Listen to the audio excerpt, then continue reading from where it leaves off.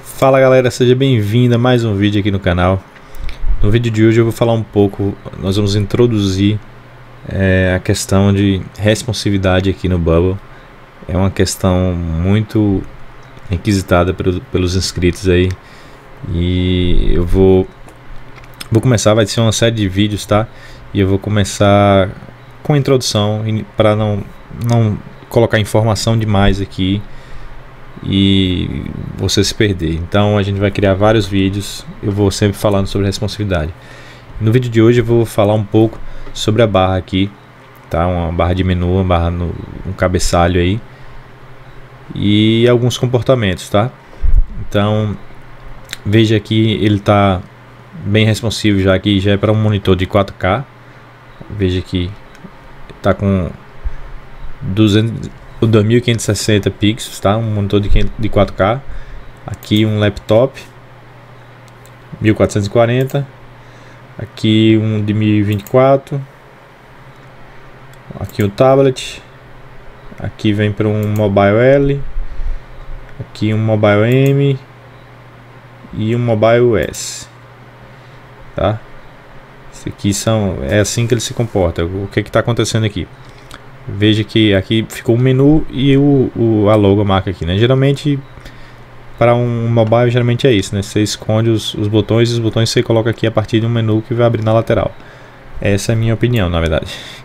E aí você vai abrindo, assim que, assim que ele, que ele se torna suficiente aqui, eu exibo, eu, eu oculto aquele botão do menu e exibo os botões do menu aqui, tá? Os, seriam essas opções que teria aqui dentro do menu. Então a gente vem aqui, ele vai esticando e vai ficando belezinha aqui. Só tá um, dando um lagzinho, mas é isso aí que a gente vai ver na aula de hoje. Se você ainda não é inscrito no canal, não esquece, se inscreve aí no canal, me ajuda bastante a continuar trazendo conteúdo relevante para você, viu? Valeu, galera. Vamos pro vídeo aqui. Vamos já começar direto. Seguinte, eu vou mostrar aqui para vocês o que é que eu criei aqui. Vamos direto aqui na, na árvore aqui, tá? Na árvore eu criei aqui um floating group, tá? Esse floating group você vai remover as propriedades dele, tá? Aqui no estilo você remove aí para aparecer todas as opções aqui. Eu coloquei aqui as, as seguintes características aqui. É, aqui na verdade tem que mudar isso aqui para 25%. Por que 25%? Que é o seguinte, vamos começar aqui pela página. A página, a largura da minha página é 1280. 1280, se você dividir por 4 vai dar 320, que é mais ou menos, que é não, mais ou menos não, é a menor tela do, do mobile hoje. Ainda existem é, mobile com essa resolução, tá? Então, o mínimo que a gente vai deixar é 320 aqui. Então, é, aqui no float group, cadê o floating group? Aqui, floating group. A gente colocando 25% vai dar exatamente isso, 320, tá? E nós vamos colocar o máximo dele aqui com 200, que vai dar 2560 certinho, que é a resolução do, do monitor de 4K tá? Que é esse aqui, ó. Monitor de 4K. Tá vendo que ele ficou até aqui o canto, até aqui o canto. Agora você tá vendo aqui por que esses grupos estão aqui, tá aparecendo aqui assim, com, no meio centralizado. Alguns sites eu, eu observei algumas algumas aplicações, é, o, o site da Amazon mesmo. Vamos entrar aqui para dar uma olhada. Amazon ele fica assim, ele fica dessa forma ali. É um menu total aqui e centralizado a página, tá? Com os produtos. Quer ver? Dá uma olhada aqui, ó. Vamos colocar aqui o monitor de 4K. Aí veja que a barra superior, tá vendo? Ela fica toda, toma a tela toda, mas a página em si, ela fica centralizada aqui com 1280 tá? O rodapé também vai total, igual o cabeçalho. Então vamos lá. Aqui é o seguinte, vou destrinchar isso aqui para vocês. O floating group, como eu já falei, 25% e 200% de máximo. Dentro do floating group, eu criei outro grupo, tá? Isso aqui só para questão de organização mesmo. Eu criei aqui um, um outro grupo, vamos colocar também, que é 25% também, o mínimo, vai dar 320 e o máximo 200. A mesma propriedade que tem lá no outro. Agora aqui dentro desse grupo gente, eu criei vários outros grupos. Que grupos são esses? Grupo botões. Que grupo botões é esse? É esse grupinho aqui que vem no, na página inicial. Geralmente tem aqui o, o botão de perfil para você abrir um menu aqui com perfil e outros botões aqui, né? Beleza. Ele aqui eu ia colocar fixo, mas não, não eu coloquei 99% e o máximo que ele vai esticar, isso aqui, essa, essa propriedade aqui é para ele alongar, tá? É o máximo que ele estica. Ele vai, ele vai alongar no máximo 120%, tá? 120% do tamanho dele, ele vai ser o tamanho dele mais 20%, tá? Aqui é um grupo logo e mobile. Por que logo mobile? Tem a logo aqui, vai ter a logo aqui. Se quiser botar um nome aqui, eu, eu coloco aqui, geralmente para separar algo que eu não quero que mostre, ou algo que eu não quero que, que vai encostar um no outro, eu coloco um grupo aqui, ó, para separar, tá? Assim como tá aqui, ó. Aqui tem um grupo logo e mobile, tá? E aqui tem um grupo botões. Entre esses dois grupos, eu crio um grupo aqui, ó. Um grupo separador, chamado grupo separador. Para que isso? A gente vai ver aqui agora. Uh, tem algumas propriedades aqui nesse botão. Esse botão que é um menu, né? Que vai ser para abrir o menu. Tem um condicional nele. Qual é o condicional? Quando a página tiver a largura menor ou igual a 640, eu quero que ele se torne visível, tá? Você vem aqui e marca aqui, ó, tornar esse elemento visível e marca essa caixinha.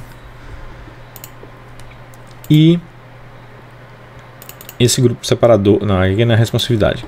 Já já eu chego lá. E esse grupo aqui, a mesma coisa. Só que o contrário, né? Não, isso aqui, quando for maior ou igual a 420. Isso aqui tá com, pera um momento só. Vamos ver aqui. 640. Aqui. Ele vai ficar visível 640 também. 640. Maior ou igual a 640. Vamos ver aqui.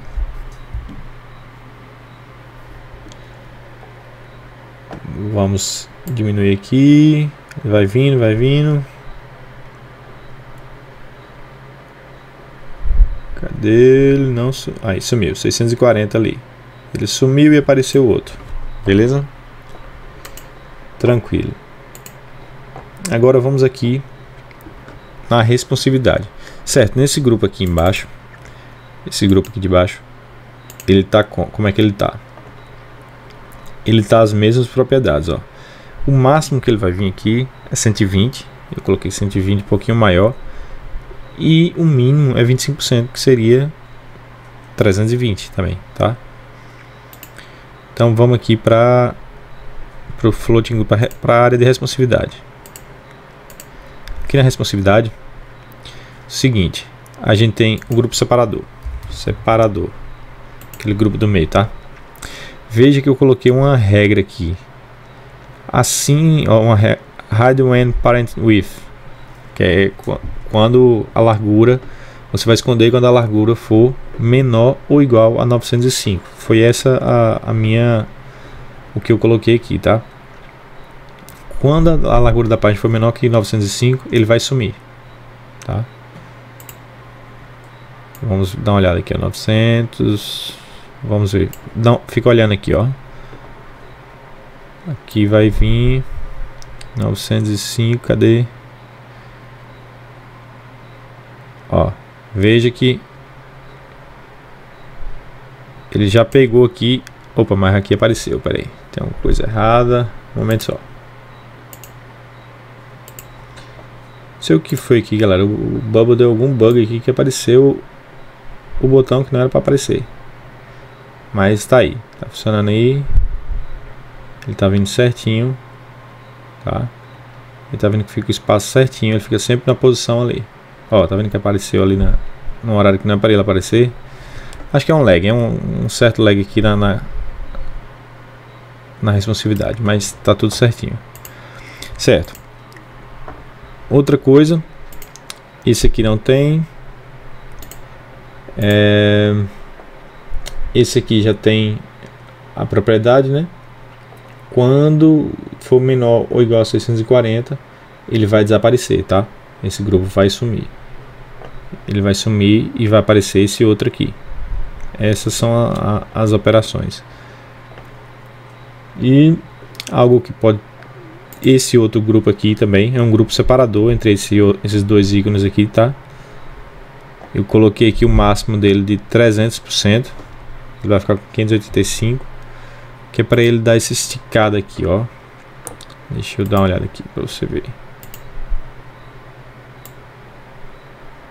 Olha, ele vai dar uma, ele vai dar uma esticada aqui. Cadê? Aqui, ó. Ele dá essa esticada aqui para empurrar um, um, esse ícone para cá e esse ícone para cá. Mas assim, de introdução é basicamente isso. E eu geralmente uso esses separadores aqui, tá? Para ajustar melhor a posição dos elementos na página. Então, é, a página fica mais ou menos dessa forma. Como eu crio, fica mais ou menos dessa forma.